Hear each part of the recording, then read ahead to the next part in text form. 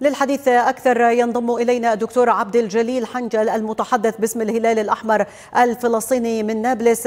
أهلا بك دكتور معنا. يعني نداء من أمين عام الأمم المتحدة لإغاثة غزة بعد أن تحول وضعها إلى كارثة. هل يحقق ذلك شيئا على أرض الواقع وتحت وابل الصواريخ باعتقادك؟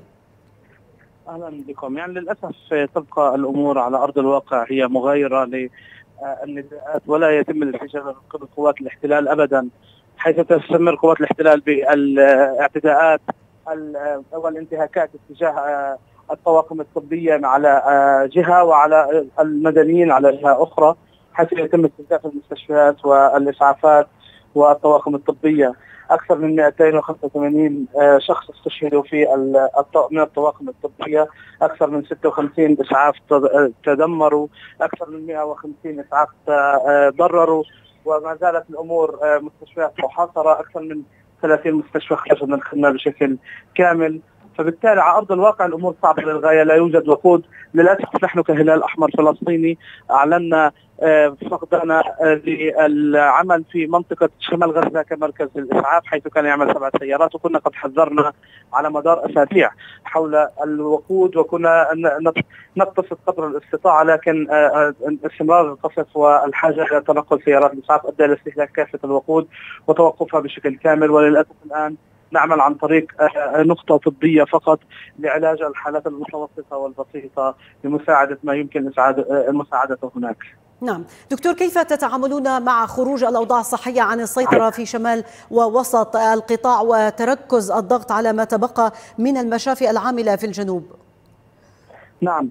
آه يعني آه عندما نتحدث عن منطقة الشمال والجنوب المنطقتين تعانيان من مشاكل ضائقة في موضوع الصحة.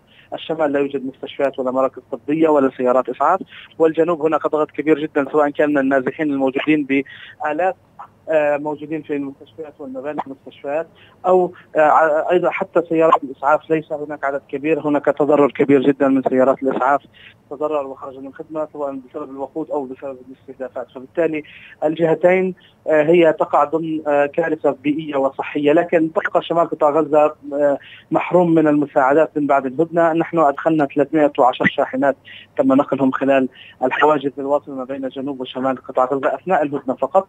بعد الهدنه لم يدخل أي شيء إلى منطقة شمال قطاع غزة. نعم. دكتور ما هي رسالتكم إلى العالم كجهات صحية وقطاعات حيوية فاعلة في مشهد الحرب؟ وما هي أبرز احتياجاتكم اليوم؟ يعني نحن كالعادة أولا وقف العدوان على الجميع على جميع السكان المدنيين الذين يتم قصفهم في المدارس والمستشفيات وفي المباني السكنية وبشكل مربعات كاملة مباني ضخمة تسقط على رؤوس من فيها من مواطنين. أيضا إدخال الوقود للمستشفيات للمستشفيات للسيارات الإسعاف للخدمات الإنسانية لضخ المياه للشرب لسحب مياه العادمة لإنقاذ البيئة وإنقاذ صحة الإنسان بأسرع وقت ممكن. فتح ممرات إنسانية للمساعدات حيث أن الذي يدخل حتى الآن هو بمعدل 80 إلى 100 شاحنه يوميا وهو لا يكفي إلى شيء.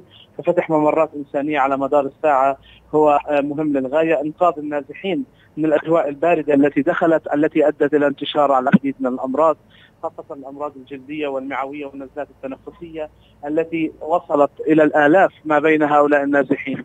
كل هذه المناشدات إضافة إلى إعادة تشغيل المستشفيات التي خرجت من الخدمة بأسرع وقت ممكن.